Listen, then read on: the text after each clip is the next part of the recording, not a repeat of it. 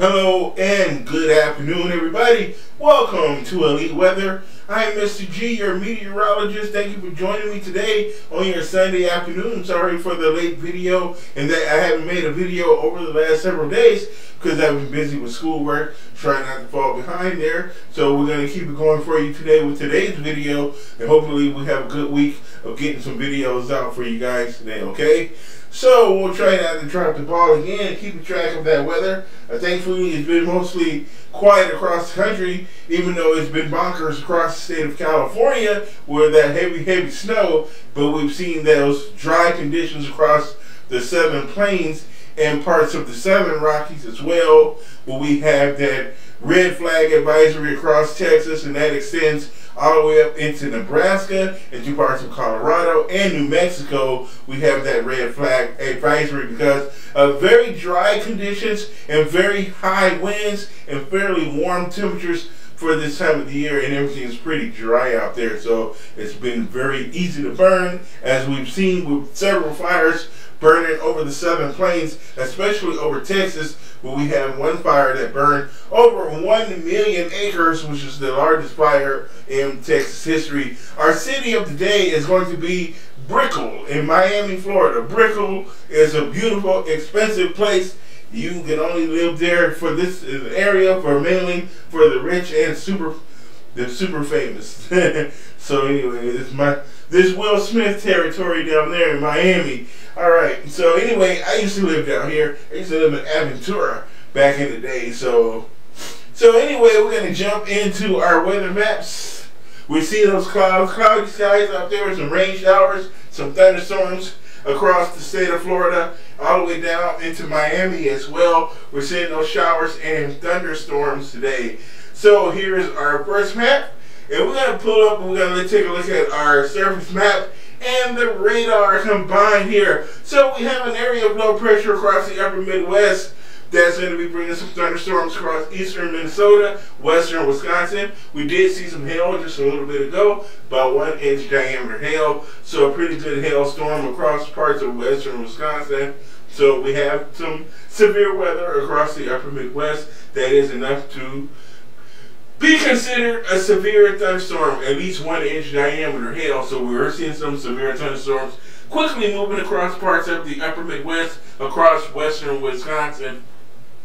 There's that rain across the state of Florida, down here on the Florida Peninsula mostly, from Jacksonville down to Miami and the Keys. We're seeing a little severe, uh, that heavy rainfall as well no severe weather at this time across the state of Florida, but you do have a, a marginal risk for some severe weather. A weak tornado is always going to be possible. Some hail is also have been observed across the state of central Florida, so we're going to have that potential and that to watch out for across the state of Florida. On the west coast, we had a lot of snow across California. Record amounts of snow. We've seen snow by the feet across California. As much as 10 feet across parts like over Mammoth Mountain and Tahoe, we saw 10 feet of snow. You should have seen some of the video coming from California. It was unbelievable, that snow, man. We know where our snow is. That's the snow that we typically see here in Minnesota. But luckily for us, Whew, we don't have we have dry ground. We're looking at bare ground, brown grass out there, dead grass from last fall is still on the ground. We're looking at here in the upper Midwest. Do you know it was 70 degrees in the Twin Cities today? Good grief, 70. God dang. So, but anyway, that was the last day. We're gonna drop back down to 50 tomorrow, but we're gonna see those showers in the area today. Temperatures in the 70s. That's enough to produce some thunderstorms. So thunderstorms in the forecast for this afternoon. We've already seen them moving off to the east over Wisconsin now. So I think we might settle down for the remainder of the day here. But Florida, you guys are going to continue. And you had a very rainy winter, very cloudy winter. It's been cloudy for 85% of the winter. It's been cloudy across Florida the state of Florida. So you can't call Florida the Sunshine State this winter, as it's been cloudy 85% of the time. So, holy crap. All right, so Here's the current temperatures. You can see how warm it is out there. 70s and 80s in the central plains, all the way up to the upper Midwest. 70 Minneapolis. Look at that 70 degree temperature there here in the Twin Cities. 70s through Wisconsin. 72 in Madison. So very warm. 72 in Chicago as well. 71 over central Illinois. We're seeing those 70s across Indiana in the 70s down to Missouri. 80s over across Oklahoma, North Texas. So very warm across west.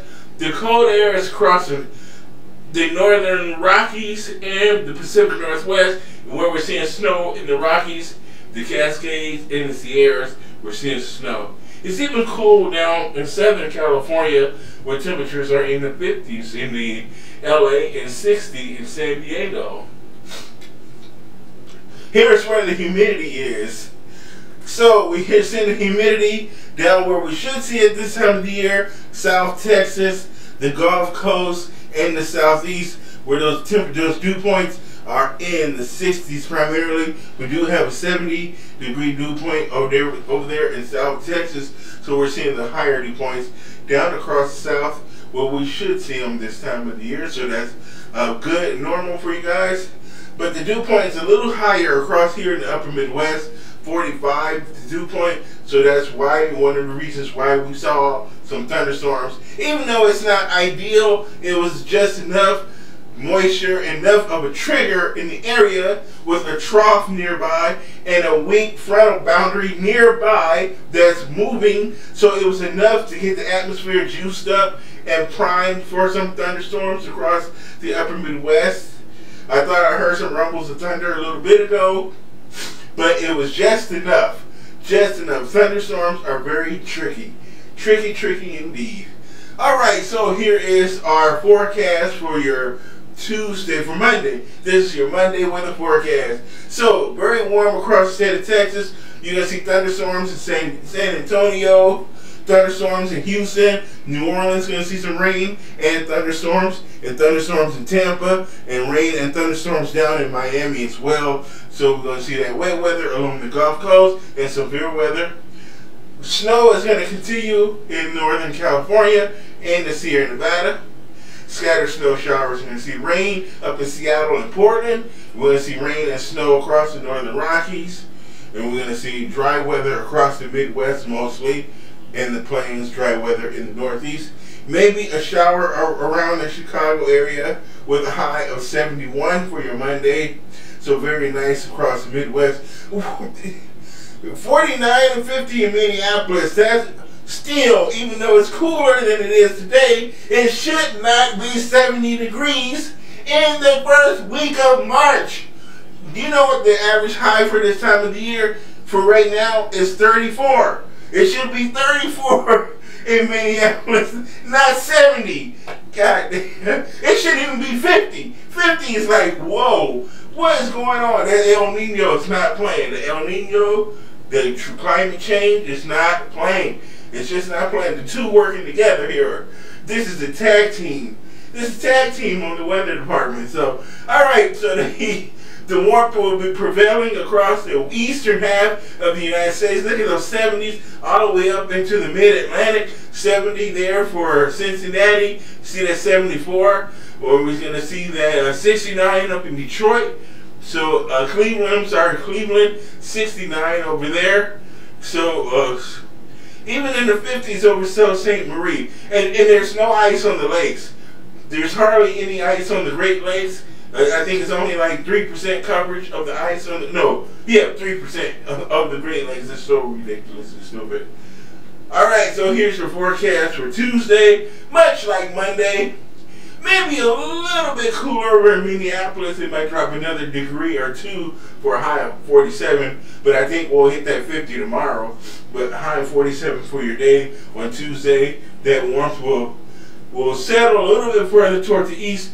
You'll get at 71 across parts of uh, over there in Cincinnati. 71 degrees for your high for your Tuesday. But look at those temperatures, about 60 there in Washington with some rain showers in the Washington and Ohio Valley. We're going to see rain showers in the Northeast on your day on Tuesday, all the way up to Boston with the high of 45. There, we're going to see some rain showers. And we're going to see rain showers continue across the state of Florida and in the southeast. So, Atlanta, we're going to see some rain showers. We're going to see rain showers over Memphis, rain showers on the Gulf Coast and over southern Texas. We're going to see some rain showers and some thunderstorms, but we're going to see dry weather across the nation's midsection.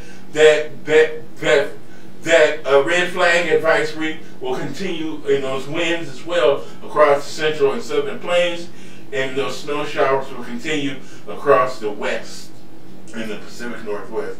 You can see those rain showers and snow showers continue.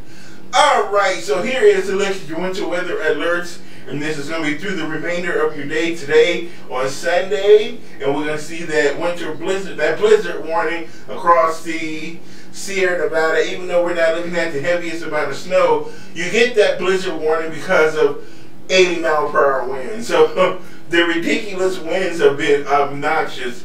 We've seen winds almost 200 miles per hour in this storm system in, in California there in the Sierra. We've seen 200, almost 200 mile per hour winds. I mean, the highest wind ever recorded in the U.S. is up on Mount Washington in like Vermont, or yeah, I think it's in Vermont. And that has always the highest winds, but I think this got to be. But that was because that was due to non-storm conditions. This is a storm here, so this won't count. So this is a normal day with 200 mile an hour winds. Good, good grief, man, shit.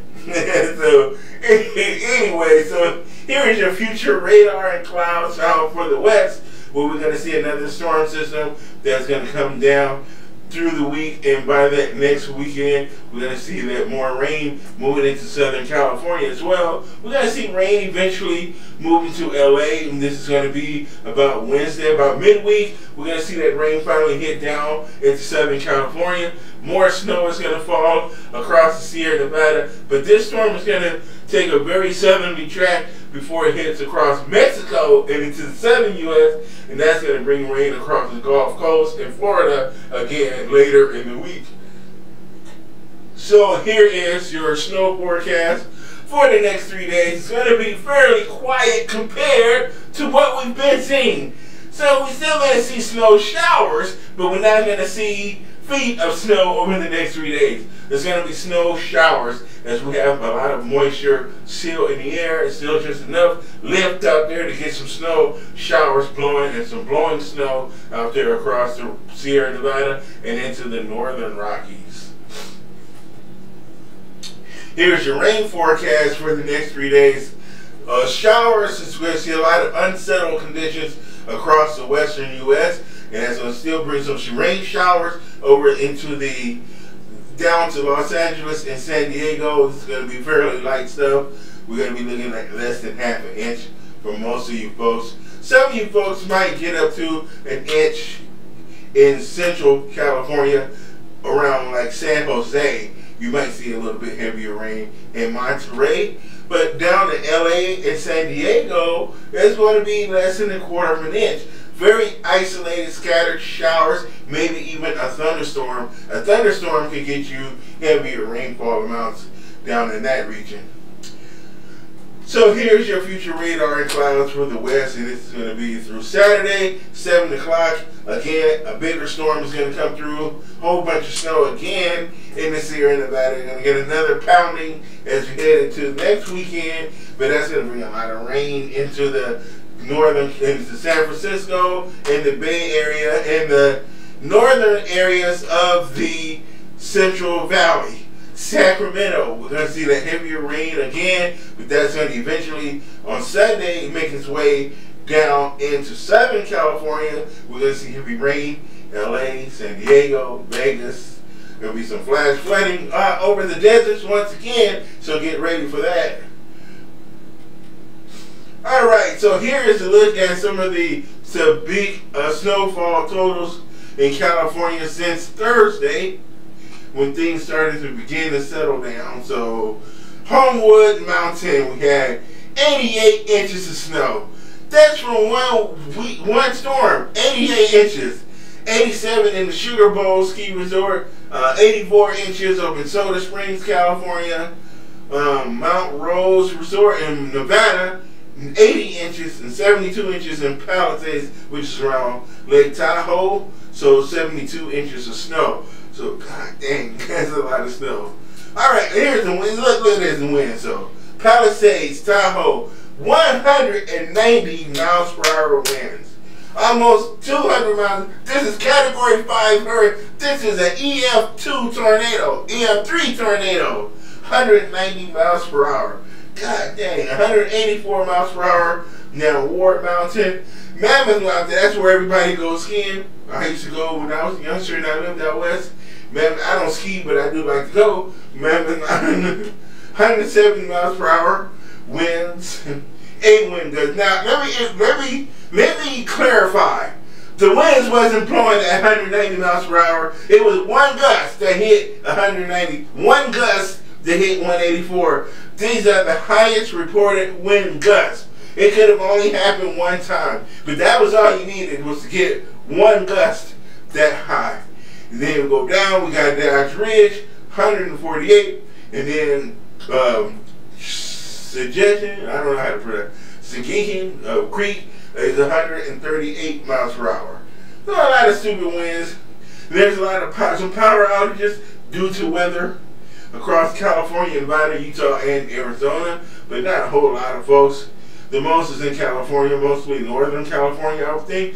Where we've had now, you know, we had a tornado in California on Thursday. Yep, there was a tornado in Central California on Thursday as well. So you know, it's been you know. It's been happening lately. We've seen some tornadoes. And thinking of tornadoes, we're going to see some severe weather across the Midwest and the Central and the the down across Texas. Louisiana, Oklahoma, Arkansas, Missouri, Illinois, uh, Wisconsin. We're going to see some severe weather on Tuesday. The main threat is going to be damaging winds and large hail. An isolated tornado is always possible. I don't, don't I don't have to reiterate that because we all know that. And then severe weather really breaks out on Tuesday across the deep south, Louisiana mostly, Mississippi, Arkansas, and East Texas. So Houston New Orleans, Hattiesburg, Jackson, uh, up to Texarkana, we're going to see the potential for severe thunderstorms, damaging winds, and large hail, and an isolated tornado is always possible. And it's going to rain hard. See some flash flooding as well. Again, as that storm system builds in across the plains around Texas and Oklahoma and Kansas. we'll see that low pressure center and we're going to see that cold front sweep through with that severe weather. Here we go as we get into tomorrow evening. Here's where we're going to see that big threat for a lot of rain and thunderstorms tomorrow. And then on Tuesday, woo, Tuesday looks active. Tuesday looks like a good day. It's a good day to be a thunderstorm on Tuesday. So we're going to see severe storms all the way up into the Midwest. Rain and thunderstorms all the way up to Detroit. Detroit down to the Gulf Coast. So rain, thunderstorms, and the potential for severe weather here across the deep south, and thunderstorms all the way up this low pressure center in the front, all the way up into the Midwest there, into the Ohio Valley. So heavy rain is going to lead to the likelihood of flash flooding across the Mississippi River Valley. So East Texas, Arkansas, over the Ozarks. I'm going to say this is the Ozarks and down across parts of Louisiana, we can see the likelihood of flooding as you can pick up a couple of inches of rain. And we're going to have a flood threat possible Tuesday and Wednesday as well. Only possible with heavy rain and uh, scattered thunderstorms down across the deep south.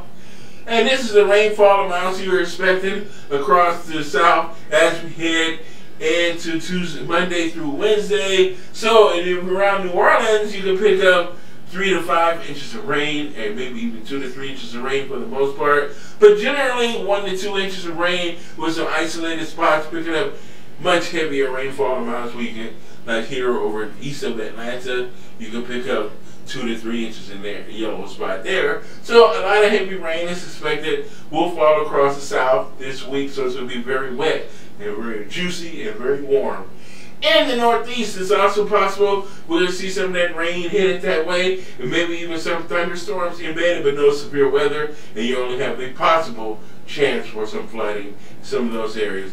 So that's your weather forecast. Mr. G reporting live from the Twin Cities, St. Paul, Minnesota. Say bye bye to the Miami and the uh, this uh what's the name of this? God damn it! I used to live in Florida. I, I can't remember because it was like 20 years ago. I lived in Florida, but I can't remember. This is uh that's the Venetian Causeway right here. The Venetian Causeway, and but I can't remember this bay here. Biscayne Bay, sorry, Biscayne Bay here in the Biscayne Bay because I used to live off of Biscayne Boulevard in Aventura. So, um, but anyway, that's our city of the day.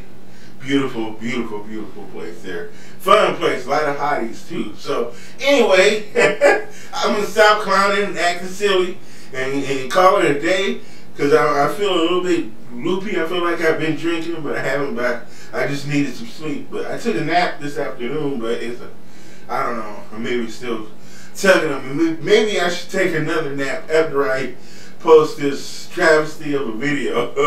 Alright guys, I will see you tomorrow afternoon. Remember the afternoon or evening video because I have to work in the morning. So, alright, so I have to help, help Uncle Sam take care of his missiles and stuff like that. I'm not in the military, but I work in that industry. So, alright guys, bye-bye.